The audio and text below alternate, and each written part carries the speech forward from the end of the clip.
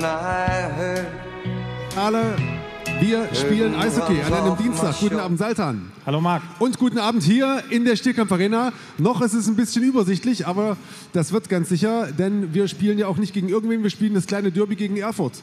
Freust dich, Saltan, auch wenn es Dienstag ist? Äh, Ja, ich freue mich immer, wenn wir spielen und äh, das kleine Derby ist tatsächlich äh, noch ein zweites neben dem Leipzig-Klassiker geworden und ja, Spiele waren jetzt von unserer Seite nicht immer top, aber es ist äh, verdient den Namen kleines Derby auf jeden Fall.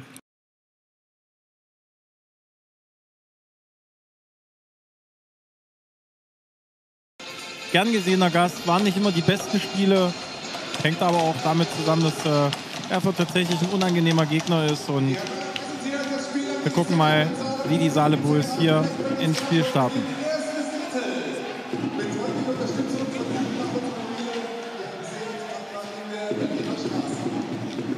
Das war mal ein interessantes Vorchecking von Nimele, einfach vorbeigelaufen, aber trotzdem die Scheibe.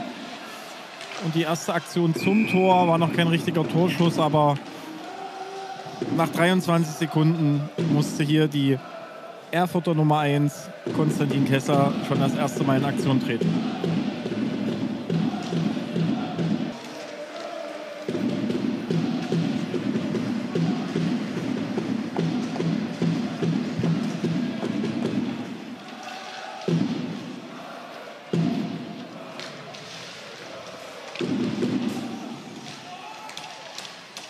Von Goldenbeck gut gelöst. Äh, ist für einen Verteidiger mal äußerst unangenehm, wenn die Scheibe nicht gezielt zu ihm an die blaue Linie hochkommt, sondern. Oh, Jetzt wollte ich mich gerade melden. Und was passiert? Wir schießen ein Tor. Großartig. ja, da war äh, die Orientierung kurz verloren bei Kessler und auch äh, bei den Verteidigern. Nimele mit beteiligt. Äh, Vihawein. Ah,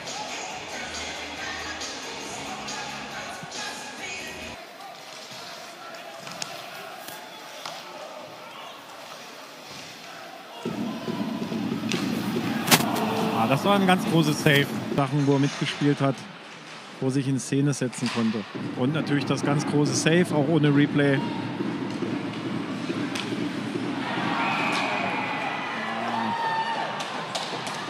Ausgleich.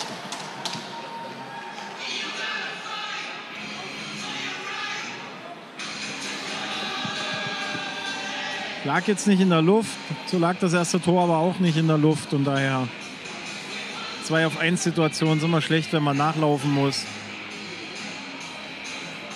Ja, jetzt, wo man es im Replay sehen kann, könnte man vielleicht sagen, der Verteidiger muss schon einen Schritt weiter rübergehen und dem Torhüter die Scheibe lassen und den Schläger kontrollieren, weil doch äh, ganz schön Bedrängnis da war vom Backchecker. Aber das ist natürlich jetzt einfach gesagt und daher Roman, Blitzstart von uns. Ganz schnell das 1 zu 0. Jetzt gab es ganz kurz vor Schluss den Ausgleich. Äh, zwischendurch sah es dann aber schon schwierig aus. Ein bisschen zäh heute. Ja, gefühlt äh, ist das erste Drittel bis jetzt komplett zäh, aber von beiden Mannschaften denke ich, dass irgendwie ja so richtig Kontrolle über das Spiel hat. Ja, hoffentlich sehen wir besseres Hockey im zweiten Drittel. Dann gute Pause. Dankeschön.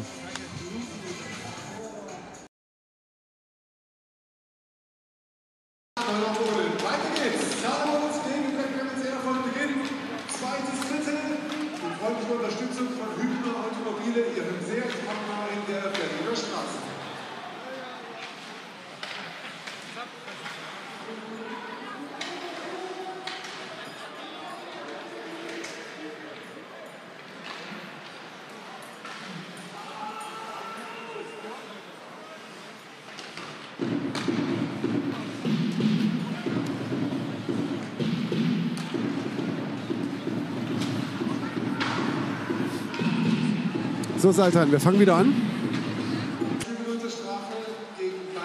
Wir spielen 4 gegen 4 und Halle durch Malasek vorne.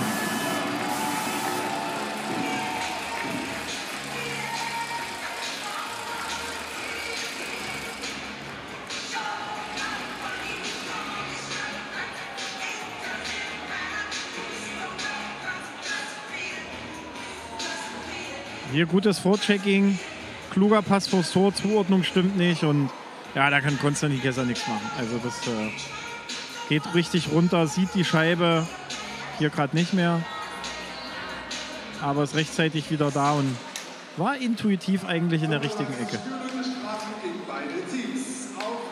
Die Strafe bleibt natürlich in der Uhr, weil beide Mannschaften äh, gleichzeitig Strafe bekommen haben, guten Reflex.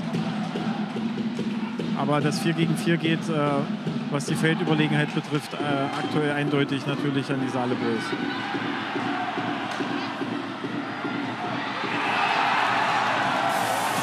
Sehr, sehr Jetzt, schönes Tor. jetzt scheint es dann doch mal in die Pushen zu kommen. Ein, ein, über das Tor freue ich mich besonders, Tor. weil es ein äh, Mix war aus Konzentration und trotzdem dem, das Ziel, den Puck äh, zu bekommen. Also es wurden Schüsse genommen, es wurde nachgearbeitet und das war ein Fleißtor. Über die freue ich mich besonders. Und äh, im 4 gegen 4 Halle aktuell mit zwei Toren. Immer konzentriert geblieben, trotzdem den freien Mann gesehen, Nimele sowieso. Und hier weitergearbeitet. Sehr schön. Sehr konzentrierte Leistung. Gutes 4 gegen 4 von Halle.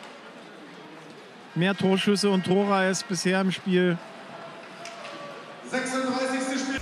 Luis Anders ist bei uns. Jetzt war es äh, im ersten Drittel ein bisschen zäh, dann war es lange ausgeglichen. Jetzt führt Halle 3-1. Was ist passiert? Ähm, ja, ich glaube, wir haben gut das zweite Drittel angefangen. Dann jetzt beim 4 gegen 4 zweimal unnötig und konzentriert gewesen. Und das kostet gleich zwei Tore und das ist sehr, sehr bitter. Weil ich glaube, wir kämpfen. Aber ja, genau. Noch gibt es 20 Minuten zu spielen. Was ist der Plan? Ja, reinhängen, Schüsse aufs Tor und dann äh, wird es schon. Und äh, konzentriert bleiben, immer dran glauben. Und ja, Seht ihr eine Schwachstelle irgendwie im Hallenser Spiel? Ja, ich denke, wenn wir unser Vorcheck durchziehen, wie wir wollen, dann haben die schon ab und zu Probleme. Aber ja, das müssen wir erstmal machen. Dann kommen die Chancen von alleine und dann wird es auch mal reingehen, das Ding. Und dann steht es 3-2 und dann wird es nochmal eng. Danke, ruhige Pause.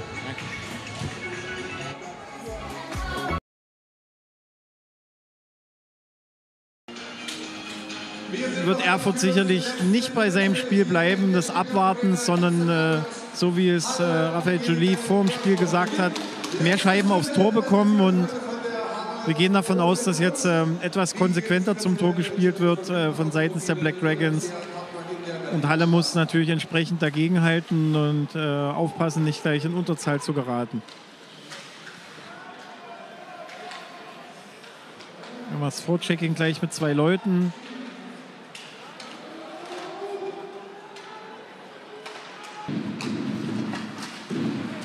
Sehr guter Puckgewinn von gut, sehr Nimele. gut. Super. Ganz stark. Irre, irres Tor.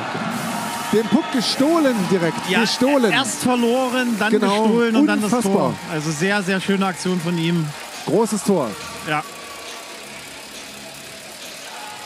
Fleiß und Technik zusammen ist halt äh, eine Top-Kombination im Eishockey und äh, das war tatsächlich ein wunderschönes Tor. Ja, das kann er. Macht doch gute Penalties. Äh, kein Vorwurf an Konstantin Kessler. Hat er gut gemacht. Hat er einfach gut gemacht. Ja, hier die Saale Bulls nicht gut gearbeitet. In der linken Ecke nicht, in der rechten Ecke nicht.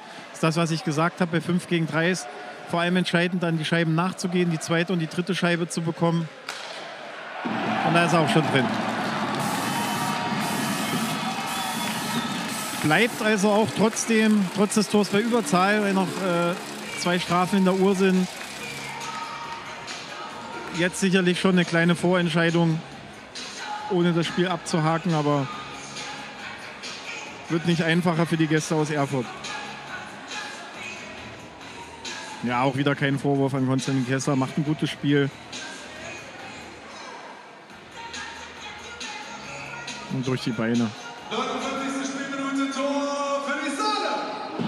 Sala. Sala. Torschütze ist unsere Nummer 74. Da braucht man aber ein Upgrade im Stream, das äh, sieht nicht jeder. Ach so, ach so ist ein In-App-Kauf im Stream. Liebe Kollegen von Spray TV, das müssen wir realisieren, aber nein. Tor. Sehr schöner Pass von Erik Hoffmann. Soll jeder sehen aus jeder Perspektive für das Geld, was draufsteht. Tor für die Saarlebulls.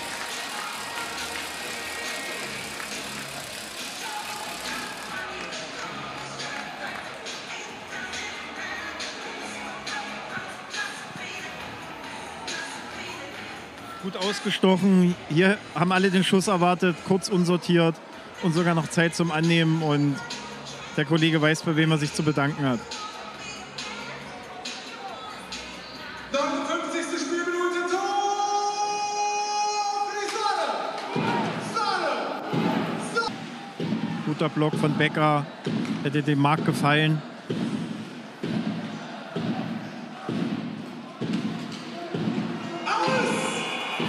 Herzlichen Glückwunsch. Dann doch noch viele Tore. Ähm, gutes Spiel der Saalebrüll ist dann noch geworden und entscheidend war sicherlich das 4 gegen 4. Herzlichen Glückwunsch an die Jungs und wir hören uns am Freitag äh, vor vielleicht zwei, drei Zuschauern mehr. Macht's gut, tschüss.